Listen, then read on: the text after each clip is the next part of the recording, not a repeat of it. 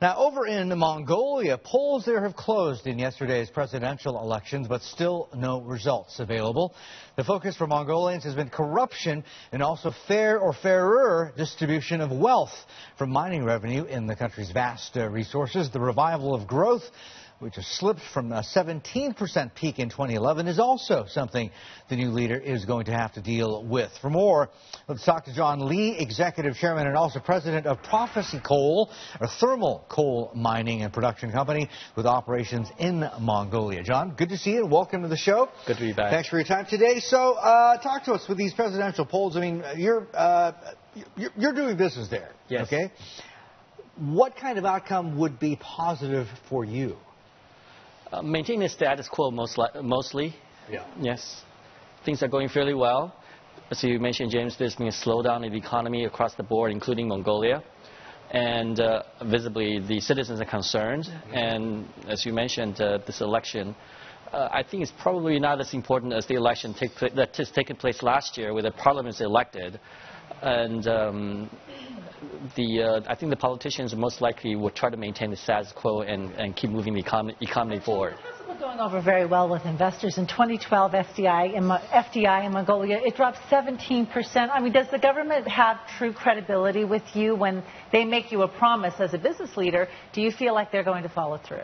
Yes, Lisa uh, from the year, everything, if you put everything into proper perspective, 2008 to 2012, Mongolia is seeing tremendous growth. It's the fastest growing economy in, in Asia, where economy grew in 2011 over, over 20%, in 2012 over 17%. So therefore, it's created a, a, a great wealth gap, which the politicians need to address uh, even though there's been a slowdown in the economy and slowdown in FDI, still the, the, economy managed to grow in double digit, and there's still inflow of, of FDI. It just, in relative terms, it slowed down.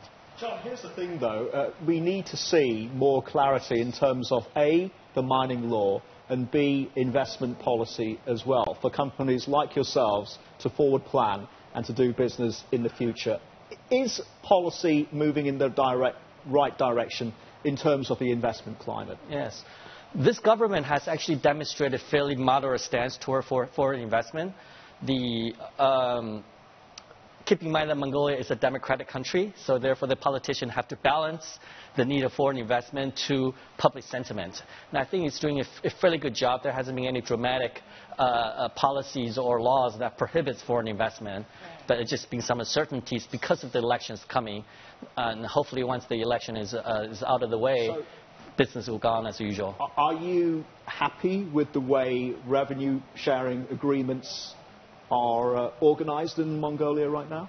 as it applies to prophecy. Yes. The laws are fairly well established. There's a stability agreement, and the, the mining law is, is, is fairly good clarity.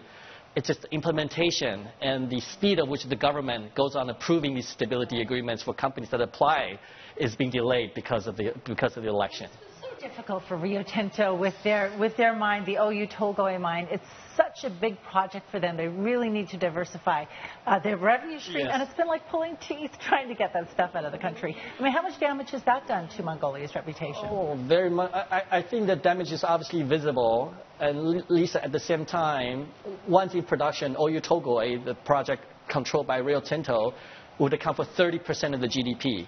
So therefore, the government really want to really want to sort of examine all the policies and, and rules in place before giving the go-ahead on the um, um, on production. And I think that's that's fairly understandable too, Lisa. But I, am sure. I think once the, the election is out of the way, six billion dollars is being invested. It would account for 30% of the country's GDP. It's in everybody's interest yeah. to make sure that the project advances forward. Just very quickly, John, yes. the China slowdown, is that being felt in Mongolia? Very much so. Mongolia once in 2012 was uh, the largest uh, exporter of coal into China, and now um, the coal prices dropped and the production has slowed down, and uh, you're, you're, seeing the weakness of the Mongolian currency as a, as a result. Um, and I think China's slowdown, um, by large extent, has fell all over the, all over the world. Yeah, for sure. Okay, thank you so much for joining us. That was John Lee, Executive Chairman and President of Prophecy Coal, telling us about doing business in Mongolia.